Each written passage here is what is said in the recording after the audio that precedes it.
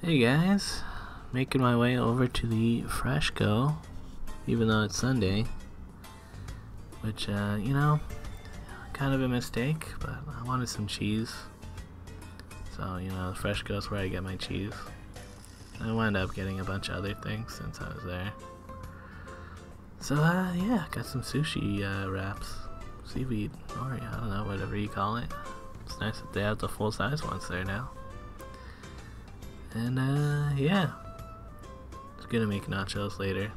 That's why I needed the cheese. But yeah, wanted to clean out my fridge before I load everything up again. Got got a ton of like almost empty milks that I uh, gotta pour down the drain. Unfortunately, if only I was more into drinking milks.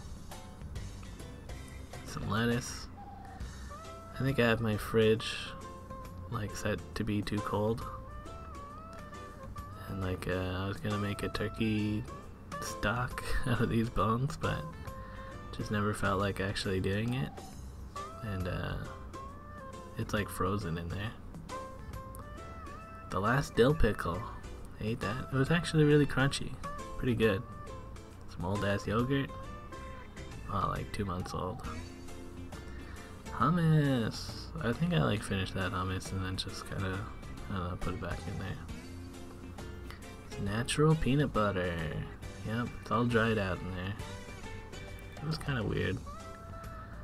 I, I like the unnatural peanut butter fine, I guess. So yeah, pretty much back down to my sauce level where it's just sauce in my fridge. I guess I'm a sauce fan. And uh, yeah. Had some good carrots and a bag of bad carrots. Gotta toss those. Ah. Around 9 p.m. started to snow. Yeah, you know, mostly just chilling out today. Later, guys.